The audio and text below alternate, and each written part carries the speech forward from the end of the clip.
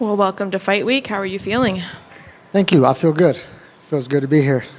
So you have a new opponent, though. What's what's Fight Week been like since you got the new name, and how has the adjustments been made? It was, it was a really long camp, you know, uh, getting ready for a certain type of fighter, and then for that to be flipped completely 180.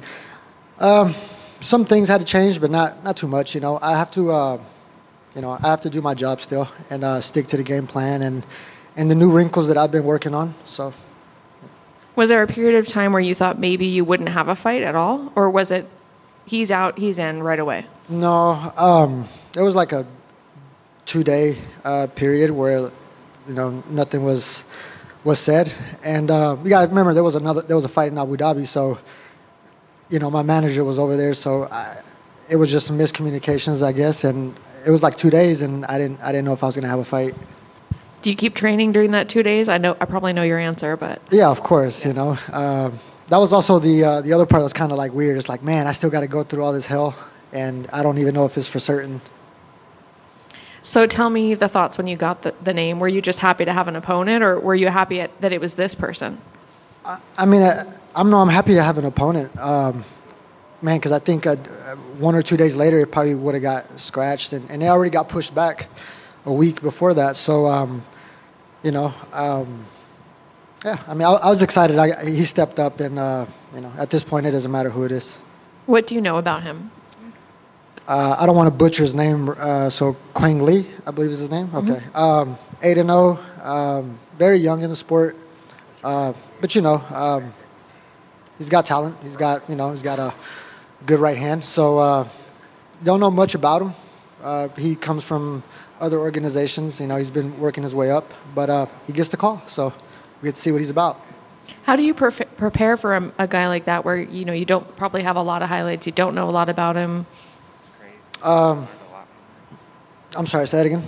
How do you prepare for a fight like that, where you don't really know what to expect because he doesn't have a lot of highlights? He hasn't been in the UFC yet. Yeah, I mean, um, I mean, it's a fight. You know what I mean? It's uh, one, twos, kicks, takedowns. You know, it's kind of all the same. Um, you know, I just pr- believe in my training and what I'm doing and what I'm capable of. That's how I prepare. So he described you as having sneaky skills, and I think he meant that in a good way. what do you think of that? What do you do? You I di- I didn't hear what he you said. He said. Sneaky. He just described you as sneaky, like having sneaky kicks, sneaky punches. All right. You like I like that? it. Yeah. I mean, I guess you know, um, you kind of got to be sneaky in this sport. You can't just stay in front of someone. Uh, you usually it doesn't end up well for you. So uh, yeah, I can take it as a compliment. Do you ever think about when you're getting these names that you know you're the one that has a lot to lose? This person's coming in; it's his debut. People aren't expecting a lot from him. Does that cause you a little bit of hesitation? Is that fun pressure? Is that what do you feel when people say that? No, I, I mean, I'm sorry. To be honest, I was completely out of it on that one. I'm just wondering, um, you know, when when people say, you know, he's coming in and he has nothing to lose, and you have everything to lose because you're already here, you have a position you need to hold.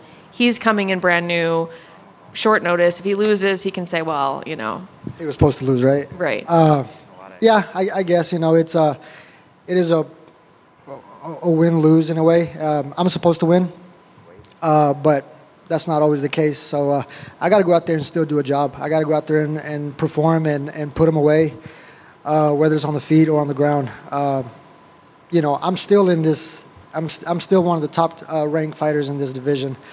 Um, you know, my last fight didn't go according to plan, but that's okay. I took on the number seventh ranked guy when no one would answer the phone call, um, and I had just fought previous after that, so I was still going into that fight camp already hurt.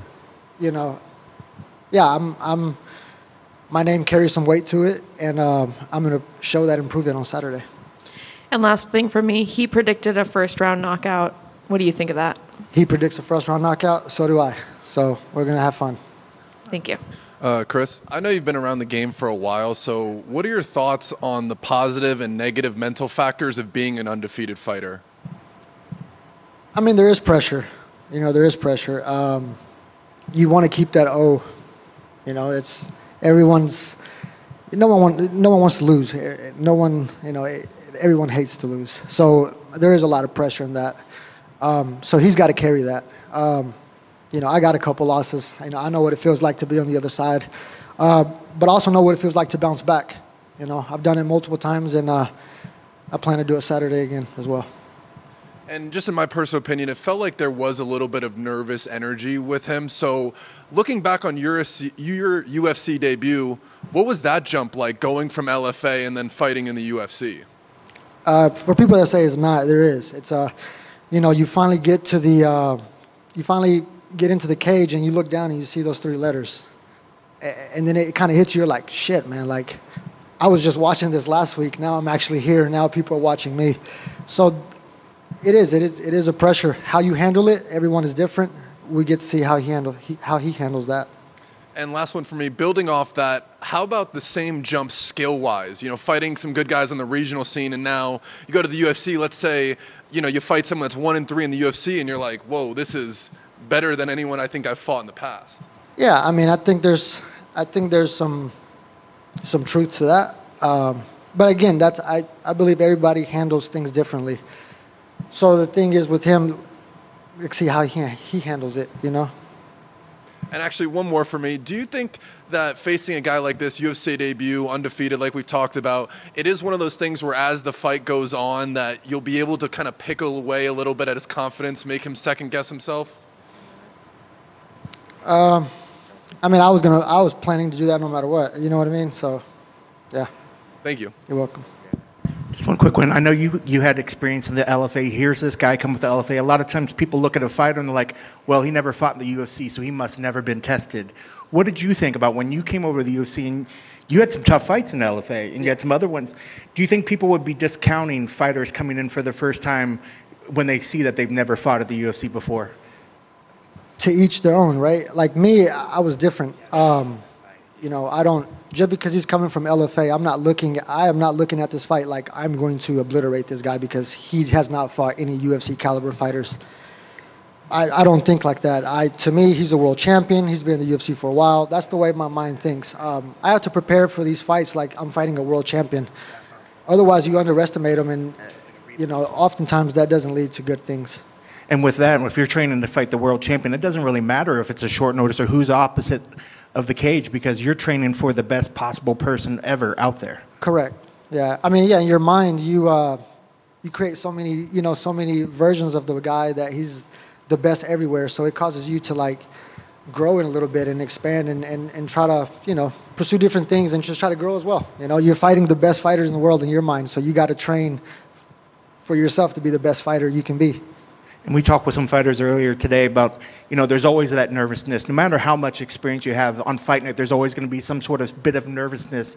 Fight Night, when does that go away for you? When does that switch? Is it when you're in the cage? Is it when you're walking out? When for you do you feel nothing but the fight? Everything else is just quiet. Uh, once once you're walking, like once you start walking to the cage, you know, you kind of are, you know, it, that's when it, it kind of switches, you know, or even in the back when you start letting them go. But sometimes you're still nervous.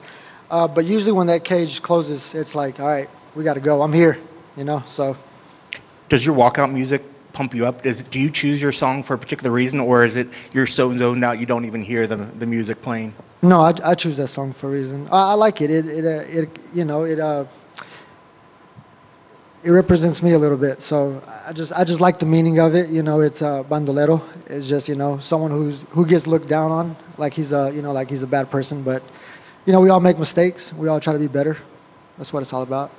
That's awesome. And last, uh, keys to victory. What needs to happen to make sure that you get your arm raised on Saturday? Uh, need to hit him with some this and some of that, and just that's for you guys to see. Can't wait. Good luck on Saturday. You're welcome. Thank you guys.